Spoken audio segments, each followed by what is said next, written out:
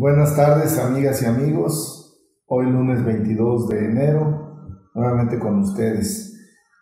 Hoy quisiera tratar un tema que está en los medios nacionales, que es el famoso tema de los de las deserciones de la gente que ha abandonado otros partidos para acompañar la candidatura de Andrés Manuel López Obrador a la presidencia de la República. Eh, sin duda, eh, estas eh, decisiones de, algunos, de algunas figuras políticas tienen que ver con un asunto. Esta semana pasada, Mitowski, Parametría y el CISEN dieron a conocer encuestas y en todas las encuestas Andrés Manuel López Obrador va en primer lugar y en un lejano segundo lugar, casi empatados, van Anaya en unos, Omid en otros, pero lejos de, del candidato de, de Morena.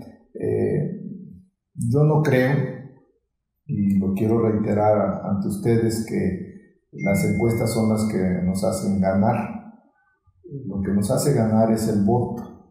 Y vuelvo a repetir lo que ya he dicho en otros eh, mensajes que he enviado a través de las redes, de que no debemos de confiarnos, de que hay que buscar la unidad, la inclusión y organizarnos bien para que Andrés Manuel pueda ratificar en las urnas lo que las encuestas dicen claramente.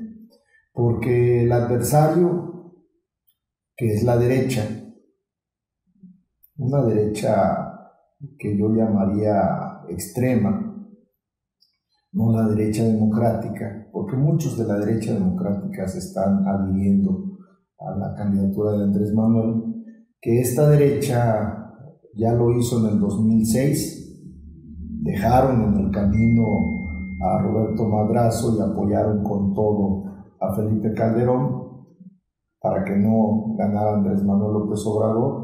Y en el 2012 volvieron a hacer lo mismo, dejaron en el camino a Josefina Vázquez Mota y resolvieron apoyar a Enrique Peña Nieto. Va a volver a ocurrir. Y una vez que tengan ese candidato, el que decidan ellos entre Anaya y Mid, que enfrente a Andrés Manuel López Obrador van a hacer uso de todos los recursos fundamentalmente ilegales para buscar que Andrés Manuel no gane la presidencia. Pero las condiciones, el contexto y la situación política del país es diferente. Por eso yo creo que a pesar de ello, si reitero, si vamos unidos, si somos incluyentes, si abarcamos un abanico más amplio, donde no solo vayan gente de izquierda, gente progresista, gentes liberales, sino también incluyamos a gente de la derecha democrática. Si lo hacemos eh, y nos organizamos bien, si no nos confiamos, vamos a ganar la presidencia el primero de julio. Y en este marco se inscribe algunas decisiones de gente que han resuelto apoyar a Andrés Manuel López Obrador, como la senadora Gabriela Cuevas, del PAN o Cuauhtémoc Blanco, este astro que fue del fútbol. Y creo que eso va junto con la decisión correcta, a mi juicio, de Andrés Manuel, de que Tatiana Cloutier sea quien le coordine la campaña. Se está buscando ampliar eh, eh, el, el radio de acción, que el universo sea más amplio, más plural, de los votantes para Andrés Manuel.